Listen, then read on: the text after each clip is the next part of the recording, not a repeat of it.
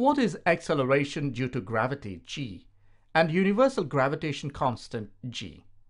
Acceleration due to gravity g.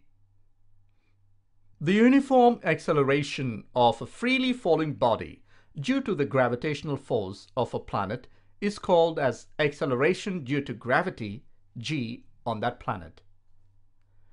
Universal gravitation constant g. Numerically, universal gravitation constant g is equal to the value of the force between two bodies of unit mass separated by a distance of 1 meter.